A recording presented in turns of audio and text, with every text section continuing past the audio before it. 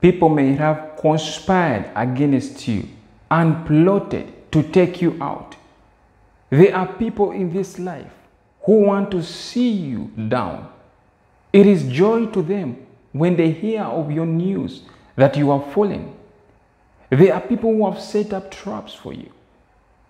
But God will disappoint them. All their plans will not work because God is with you, brothers and sisters. God is for you. And if you choose to be for God, He will not disappoint you. He is always with you. Now, I want to read you a scripture that is in the book of Genesis 37 18 to 24. Genesis 37 18 to 24. And it reads Now, when they saw him afar off, even before he came near them, they conspired against him to kill him. Then they say to one another, Look, this dreamer is coming. Come, therefore, let us now kill him and cast him into some pit, and we shall say, Some wild beast has devoured him. We shall see what will become of these dreams. But Reuben had it, and he delivered him out of their hands, and said, Let us not kill him. And Reuben said to them, Shed no blood, but cast him into this pit which is in the wilderness, and do not lay a hand on him, that he may deliver him out of their hands and bring him back to his father. So it came to pass when Joseph had come to his brothers that they stripped Joseph of his tunic, the tunic of many colors that was on him. Then they took him and cast him into a pit, and the pit was empty. There was no water in it. Now, this scripture talks about Joseph. And Joseph was a dreamer. And whenever Joseph would tell his dreams to his uh, brothers, to his family, they hated him for it. Now, the scripture says that when they saw him afar, when they saw Joseph afar, even before he came near them, they conspired to kill him. There are some people in this life who have seen you afar, even before you come next to them, even before you come close to, the, to them, even before even a word proceeds out of your mouth. They have conspired to kill you. They have planned and plotted your destruction. But they will not prevail. Now, 19 says, Then they say to one another, Look, this dreamer is coming. Come, therefore, let us now kill him and cast him into some pit. And we shall say, Some wild beast has devoured him. We shall see what will become of his dreams. There are people who have seen you from afar and they are jealous of your dreams. That's why you see it's very important not to tell everyone that you come across your dreams because there are some who are interested in killing your dreams. They want to abort your dreams.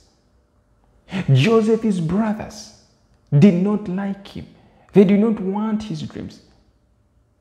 In fact, they referred to him as a dreamer. They had plotted to cast him in some pit. And they had even uh, prepared words to say that if they ask him where is, if they ask them where Joseph was, they would lie to his father that Joseph had been devoured by some wild beast. His brothers had evil plans for him. There are people whom you call friends, whom you call brothers. Yes, they may not be your real brothers, but they have evil plans for you But glory to God. God has plans for you. He has a brighter future for you. He has plans to prosper you. Now, I love what 21 says. Because out of the people who wanted to kill him, one of them, by the names of Reuben, it seems like he did not want Joseph to die. This is what Reuben said. Reuben heard of it and he delivered him out of their hands and said, Let us not kill him. And Reuben said to them, Shed no blood, but cast him into this pit which is in the wilderness, and do not lay a hand on him, that he may deliver him out of their hands and bring him back to his father. While there are people who are about to uh, destroy your life, among them could be somebody who will deliver you.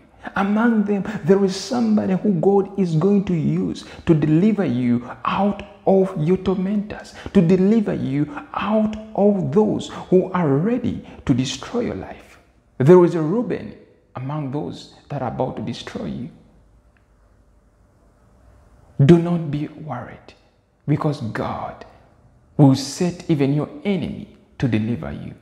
God will use somebody you did not expect to deliver you.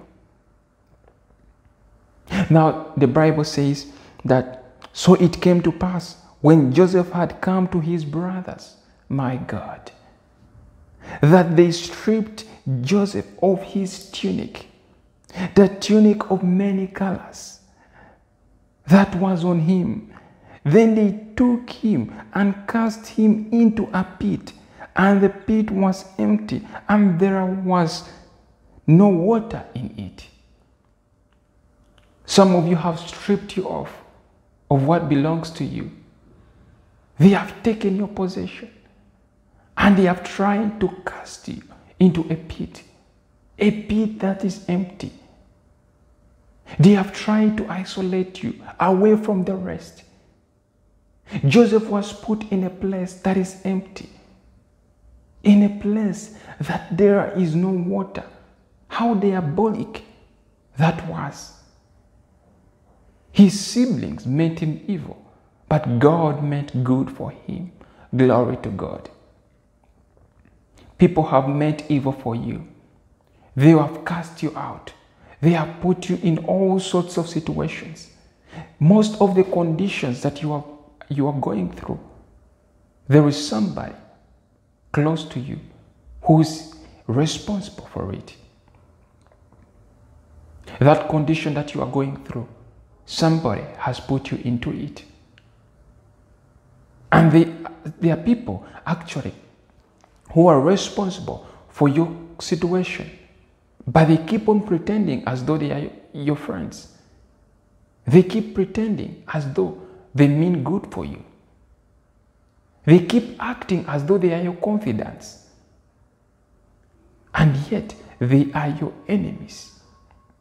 They keep acting as though they are your comrades, and yet they are your adversaries. But God will deliver you from them. That pit, brothers and sisters, will not destroy you. That pit will lead you only to your destination.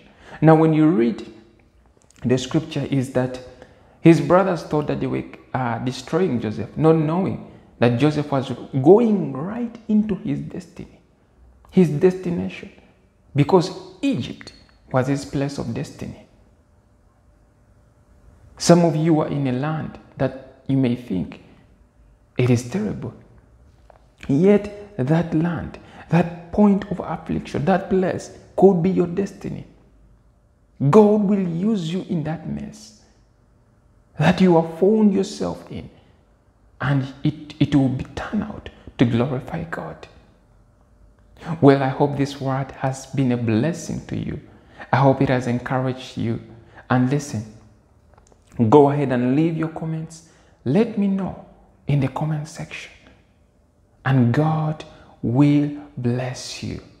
Now, until next time, shalom.